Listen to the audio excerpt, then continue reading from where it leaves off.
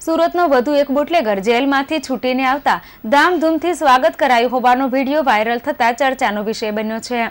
મોટા વરાછાના bootlegger Mangilal ગુજ્જરે અમરોલીમાં police પર હુમલો કર્યો હોવાનું સામે આવ્યું હતું.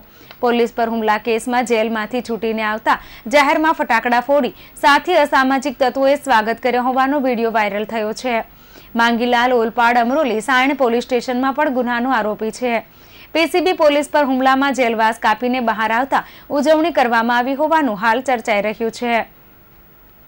મોટા વરાછાના બુટલેગર માંગીલાલ ગુજરે અમરોલી વિસ્તારમાં પોલીસ પર હુમલો કર્યો હતો, જેનો પણ હાલ વીડિયો વાયરલ થઈ રહ્યો છે. બુટલેગરોના આતંકના કારણે સ્થાનિક લોકોમાં રોષ ફાટી નીકળ્યો છે. આ સાથે આવા સામાજિક તત્વો સામે પોલીસ કાર્યવાહી કરે તેવી પણ માંગ ઉઠી છે.